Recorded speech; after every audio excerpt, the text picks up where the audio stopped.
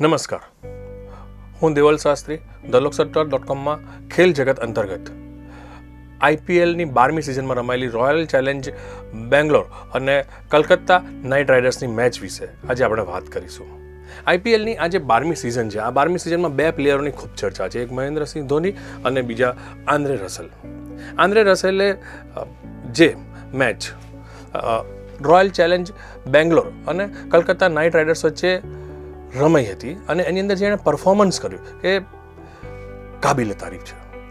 સોળમી ઓવર સુધી મેચ નહીં જીતી શકે એવી હાલતમાં રહેલી કેકેઆની ટીમમાં રસેલે આવી અને તેર બોલમાં જે રીતે અડતાલીસ રન માર્યા અને જેની અંદર સાત છગ્ગા અને એક ચોગ્ગો સાથે મેચને જીતાડી દીધી અને ટ્વેન્ટી ટ્વેન્ટી જેવી મેચમાં પાંચ બોલ તો હજી નાખવાના બાકી હતા.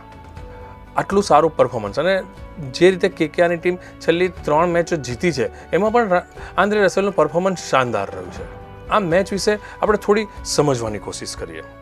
ટોસ જીતીને કેકેઆરે પહેલું બોલિંગ નાખવાનું નક્કી કર્યું. અને આરસીબી બેટિંગમાં આવી. આરસીબી સારી સ્પીડમાં રમી ચલી છ ઓવરમાં ત્રેપન રન કર્યા, જેમાં એક પણ વિકેટ ખોઈ નથી. અને પાર્થિવ પટેલની પહેલી વિકેટ પડી, જેમાં પાર્થિવ પટેલે પચીસ રન કર્યા હતા. બીજી તરફ વિરાટ કોહલીએ પણ રન કરવાના ચાલુ જ રાખ્યા હતા અને બીજી વિકેટની ભાગીદારીમાં એકસો ને એક રન ત્રેપન બોલની અંદર બનાવી દીધા હતા. વિરાટ કોહલીએ બધું મળીને ચોર્યાસી રન કર્યા તો ડિવિલિયર્સે ત્રેસઠ રન કર્યા હતા.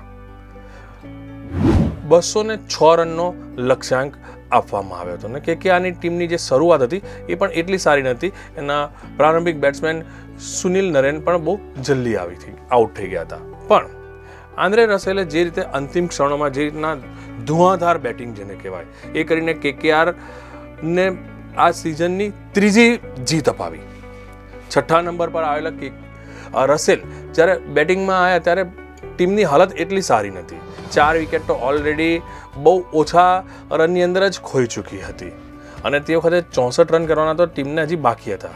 અને રસેલે ખાલી એક છેડો જ સાચ્યો નહીં, પણ જે રીતે શાનદાર બેટિંગ કરી અને તેર બોલમાં નોટ આઉટ અડતાલીસ રન આપી અને પોતાની ટીમને જીતાડી દીધી.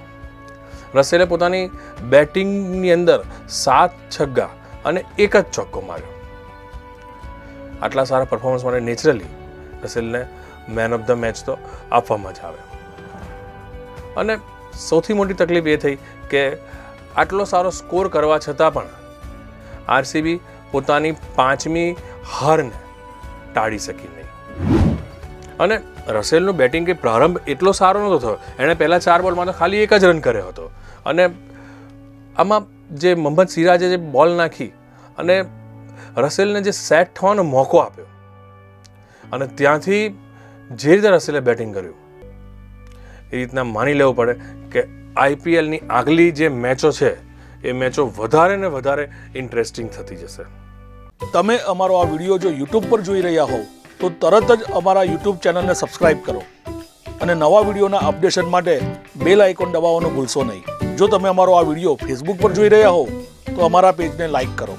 વધુ અપડેટ માટે દિલોકસત્તા ડોટ કોમની વિઝિટ કરવાનું ભૂલશો નહીં.